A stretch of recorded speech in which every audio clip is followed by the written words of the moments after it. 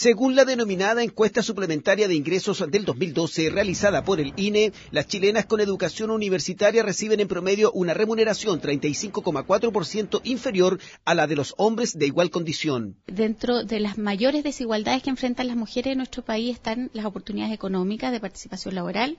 Tenemos solamente un 47% de la tasa de participación laboral de las mujeres, pero además que el ingreso per cápita de las mujeres en Chile es la mitad del ingreso per cápita de los hombres. Esa es la realidad que provocó que dos altas docentes del Liceo Bicentenario de Niñas de Maipú renunciaran a su trabajo. Dos mujeres que iniciaron este proyecto educativo, a las que se les exigió resultados y excelencia académica, al igual que a sus colegas directores de otros establecimientos municipalizados que ganan mucho más que yo, profesora, directora de un liceo de niñas, le había implantado, ¿no es cierto?, y en el discurso permanente, trabajar con mis estudiantes el tema de la igualdad de género. Que a igual trabajo, a igual sacrificio, a igual esfuerzo profesional, ¿por qué ganamos diferente? ¿Por qué ganamos menos? Yo no tengo la antigüedad que a lo mejor tienen mis colegas, jefes de UTP, pero hago el mismo trabajo y se me exigen las mismas responsabilidades.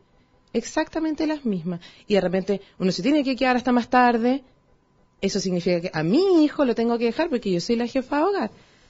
Y eso, bueno, porque tú tienes que ser profesional y tienes que rendir en el trabajo, pero a fin de mes, bueno, eso nadie te lo reconoce. En el municipio de Maipú dicen que se trabaja para equiparar la brecha de remuneraciones entre hombres y mujeres. Yo insisto, probablemente puede que hace dos años atrás los criterios que, que se ocupaban no eran los mejores yo creo que hay que revisar, yo creo que esto es una, política permanente. Yo por lo menos cuando asumí como alcalde eh, establecí también paridad en términos de los cargos directivos.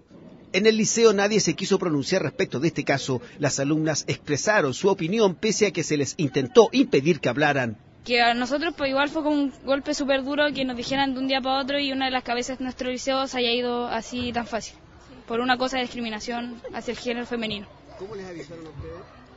De un día para otro y ese día mismo tuvimos una asamblea como la directiva del colegio y después tuvimos que... Ya, arranque chiquilla, arranque, Ya. Las afectadas pidieron que esta situación de diferencias en salarios sea tema en los programas de gobierno de las candidatas a la presidencia de la República. Yo les exijo que se pronuncien, que se hagan responsables de su condición de candidatas de mujer, pero que se pronuncien con propuestas bien concretas. ¿Ya? No con estos anuncios, estas promesas como ambiguas, no, sino que digan, yo voy a hacer esto y lo voy a hacer así, así y así. Las diferencias salariales en Chile persisten en diferentes áreas laborales. Será un desafío para los gobernantes y legisladores emparejar la cancha y que la palabra igualdad también se refiera a los ingresos que reciben hombres y mujeres que desarrollan las mismas actividades. Lenin Arroyo, CNN Chile.